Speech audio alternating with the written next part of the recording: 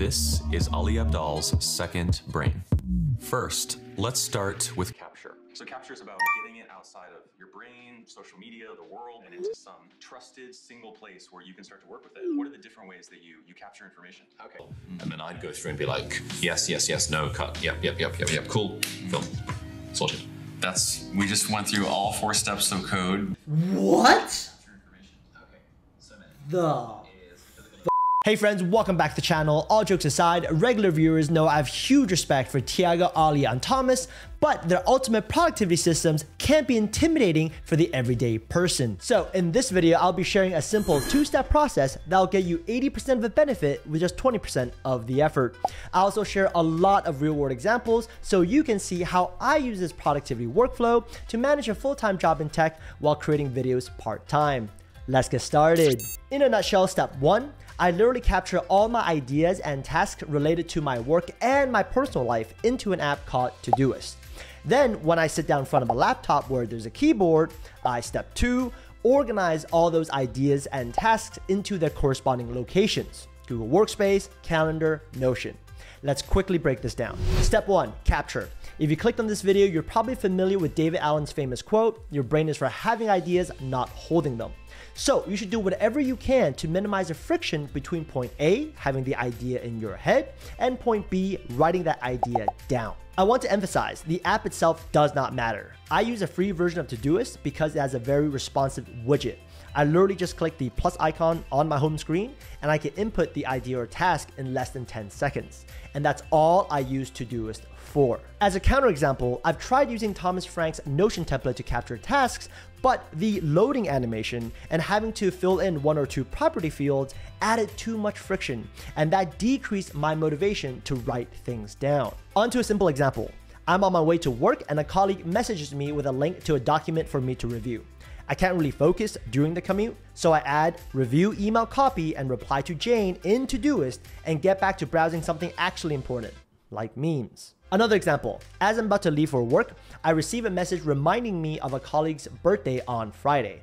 I immediately bring up Todoist, type in buy birthday present for Michelle today, and add another task, bring present to office on Friday. After buying the present today, I check out the task, and thanks to Todoist natural language processing feature, it will remind me on Friday to bring the present to the office for Michelle. Pro tip, you should always start your quick capture with an action verb. This way you won't be left with something ambiguous like present. Not a present, it's the present. So on a typical day when I wake up, my to-do list starts off with recurring tasks and reminders I've input previously. Then throughout the day, new action items and ideas are added. Which brings us to step two, organize. The biggest pro tip here is from Tiago Forte. The wrong way to organize information is by where you found it. The right way is to organize by the location you will use that information. Jumping right into a simple example. For some reason, I'm super creative when I'm at the gym, like working out at the gym, not hanging out there for, for no reason. In between sets of 800 kilograms, I would have ideas on new marketing campaigns to run at work, advice I need from my manager, and content ideas for YouTube. I capture all that into Todoist, finish the workout, and when I'm back on my laptop, I add the marketing campaign idea in our team's weekly meeting agenda, email my manager with the problems I'm facing, and include new video ideas in my content pipeline page in Notion. As you can see, to make step two work well, you first need to identify suitable locations, then organize to those locations. I like to do this step on a laptop rather than on my phone because I just type so much faster on a keyboard and navigation on the desktop app is usually much easier. Another example, I'm in a car and I come across a video editing tutorial. I save the link in Todoist and when I get home, I add it to the post-production section of my video page in Notion because I want to watch it right before I start editing, where it is the most useful. On to a more advanced example. At the government tax bureau place, I was told to apply for a tax refund in 8 months by submitting 3 documents. The moment I was told, I opened up a Todoist, added the date and the documents required. When I got home, I saved that information in a Notion page, and while that isn't wrong, I'm probably gonna forget about it in 8 months. So in addition to this record, I block off a time slot on my calendar for 8 months later, add the three documents I need to prepare beforehand, and link the Notion page within the description. In this instance, it's fine to keep a record within Notion, but my calendar is a place where that information will be used since my calendar basically tells me where to be and when. Funny story, a friend of mine uh, missed the deadline and lost out on quite a bit of tax refund, so that's like a real life consequence. Not exactly funny story, but I got to say I told you so, so, you know, silver linings. Anyways, at this point, you can probably see how this process plays out throughout the day, right? Capture, capture, capture, organize. Capture, capture, capture, organize. Capture, capture, capture. Nobody expects the Spanish Inquisition.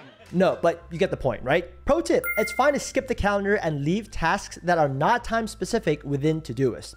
For example, it doesn't matter when I take my probiotics every day. It doesn't matter when I physically hand the present over to Michelle as long as I do it before I leave the office. The second those are done though, I check them off and allow my brain to forget all about them. The next example relates to inbox management because email plays such a huge role in our lives. Specifically, how the snooze feature within Gmail is so underutilized. When you receive an email requiring you to take action more than a week from now, for example, you need to present in next month's team meeting, you should snooze that email until the Monday of that week when it is the most relevant. In a way, when the email arrives in your inbox, that's like the capture step. And the snooze feature is the organize to location step, if that makes sense. I have an entire video teaching you step by step how to achieve inbox zero, so I'll link that down below. In summary, capture all ideas and tasks in as frictionless a way as possible, then organize those in locations where that information will be used. Once you're comfortable with these two steps, check out Tiago Forte's second brain video because capture and organize is actually part of his four step process capture, organize, distill, and express. Code. See you on the next video. In the meantime, have a great one.